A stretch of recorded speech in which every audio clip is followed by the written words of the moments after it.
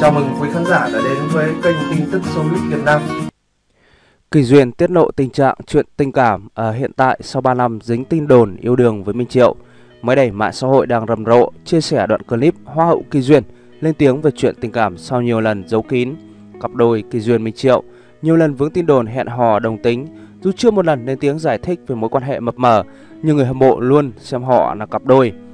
Trước đây, Hoa hậu người Nam Định từng bị nghi sử dụng hình nền điện thoại là ảnh của Minh Triệu.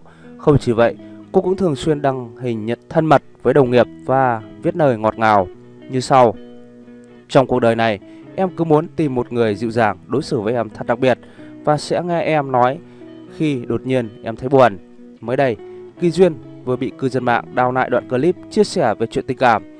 Cụ thể trong một talk show có sự tham gia của nhiều gương mặt nổi tiếng của nàng mẫu như Hà Anh, Kỳ Duyên, Phương Nga, nàng hậu đã lần đầu bật mí sau khoảng thời gian kín tiếng.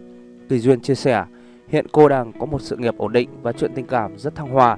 Tuy nhiên, cô nàng vẫn không hề hé lộ thêm bất kỳ thông tin gì về nửa kia của mình và xin được giữ lại điều riêng tư. Dù vậy, phần lớn người hâm mộ đều khẳng định người ấy của cô không ai khác ngoài siêu mẫu Minh Triệu. Cả hai từng chụp ảnh chung nhiều bộ ảnh khiến cho dân tình điếu đứng vì quá xinh đẹp. Kỳ Duyên và Minh Triệu từng bị khán giả bắt gặp tay nắm tay rất tình tứ. Cả hai từng mặc váy cưới đôi trong một buổi biểu diễn. Những hình ảnh hạnh phúc của cặp đôi Kỳ Duyên và Minh Triệu. Cảm ơn quý khán giả đã theo dõi video clip.